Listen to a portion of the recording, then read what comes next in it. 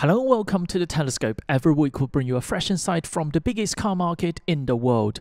I was at the 2023 Guangzhou Auto Show to check out the Xpeng X9 and the Li Auto Mega.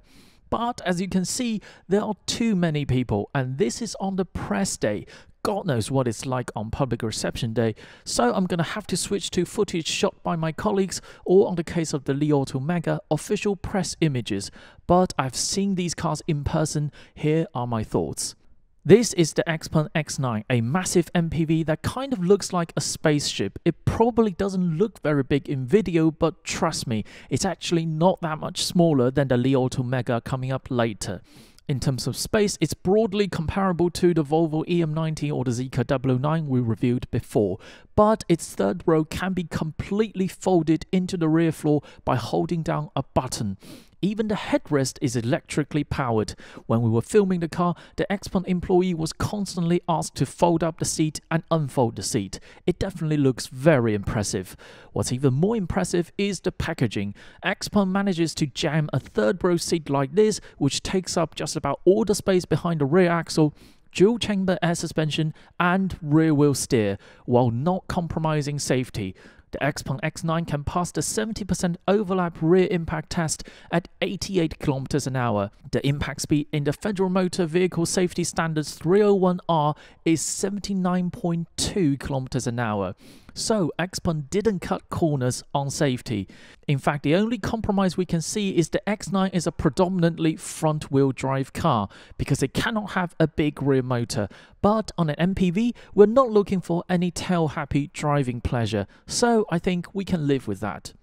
On the inside, the biggest highlight is the 21 inch TV. It is significantly bigger than the 17 or the 15 inch TV on other MPVs, and it has a remote onto the Li Auto Mega. The biggest selling point is in its name. It's mega huge. So big, in fact, the rear door has to be separated into two pieces, otherwise, the boot cannot be easily accessible in a standard sized parking space in China. This car was just on display, but reliable sources told me it has a third row that has not been seen ever before in an MPV, and this source is 6 foot 5. Notice how big the third row window is? With a car this huge and being pure electric, Li Auto has to pull out all the stops in efficiency, hence this extremely simple and pure design. It is perhaps the closest shape you can get to a perfect teardrop while maintaining interior space.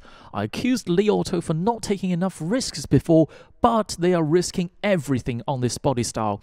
And by the evidence we have seen so far, they will likely pull this off and develop a family of teardrop shaped, extremely efficient pure electric MPVs.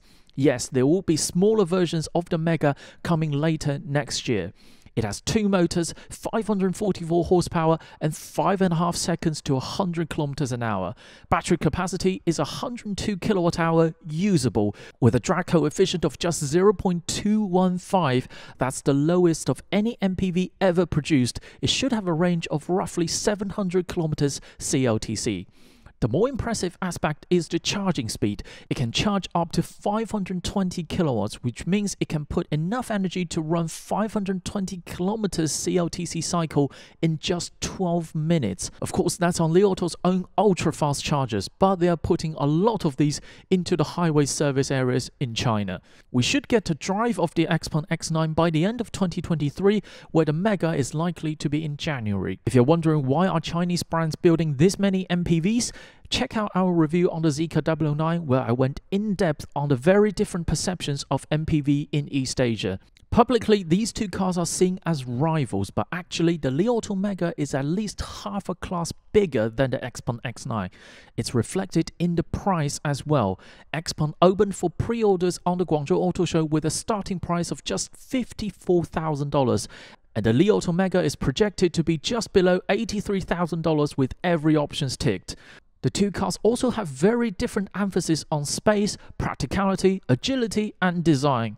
We'll have a closer look on these two massive luxury electric MPVs in their own test drive.